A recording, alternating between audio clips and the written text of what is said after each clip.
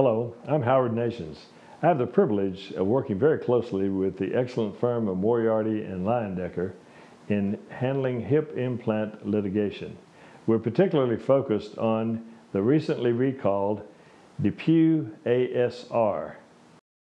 We've created an animation to help demonstrate what exactly is wrong with the uh, implant and what can what kind of complications can we expect off of it. Now, the way the body's designed, you have the femoral head fitting into the acetabulum. And as the, as the function wears down over the years and you had abuse and fractures and things of that nature, sometimes it becomes necessary to replace these uh, with total hip replacement surgery. Now, this involves replacing the femoral head, as you see, and replacing the acetabulum with a prosthetic device. The particular prosthetic device we're concerned about in this litigation is the DePuy ASR. It's a two-component device which consists of the acetabular cup and the femoral head and then the femoral stem. The acetabular cup fits into a cleaned out acetabulum. The femoral stem goes down into the femoral bone and then the two uh, function uh, as the original design. In this particular case, with the ASR, both of these components are made of metal. It's called MOM, metal on metal. And due to the design of the articulation, the large amounts of friction can occur between the head and the cup in this metal on metal design.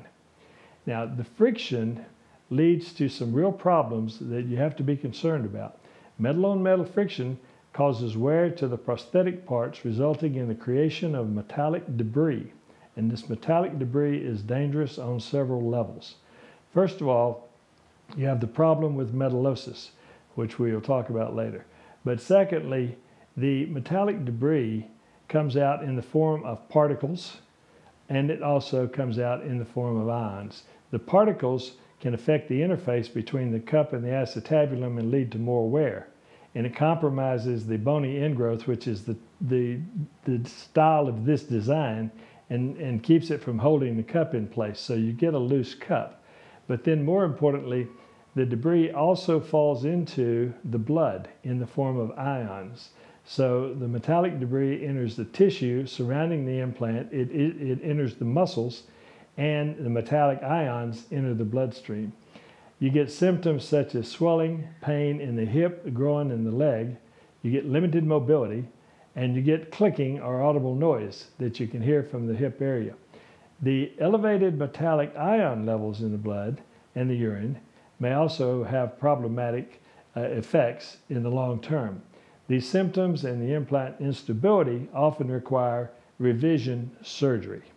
Here at the Howard Nations Law Firm, we look forward to working with Moriarty and Leyendecker in representing your interest against DePuy.